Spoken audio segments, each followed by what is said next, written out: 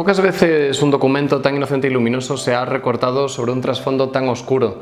Padre e hijo, la colección de tiras cómicas de Erich Osser, apodado Plauen por su ciudad de nacimiento, acata sobradamente el mandato que prescribe poner al mal tiempo buena cara. Padre e hijo, que ha publicado Pepitas de Calabaza, comenzó a editarse en 1934, poco después de que los nazis prohibieran a Plauen seguir con sus ácidas caricaturas políticas. Su carrera como viñetista en el periódico socialdemócrata Borwards le había conferido fama de crítico acérrimo del nacionalsocialismo.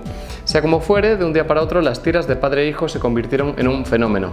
Cientos de miles de niños las leían con avidez y los muñecos inspirados por ellas se vendían como churros. La fama y el éxito habían irrumpido en su vida inopinadamente, pero una mala tarde se le ocurrió criticar al Führer delante de un vecino que, sin saberlo él, era un informante de la Gestapo. Encarcelado, Plauen se suicidó a los 41 años, el mismo día en que iba a ser juzgado. Dejó una carta al juez acusándolo de ser el asesino de padre e hijo y amenazándolo con que la ira de miles de niños caería sobre él.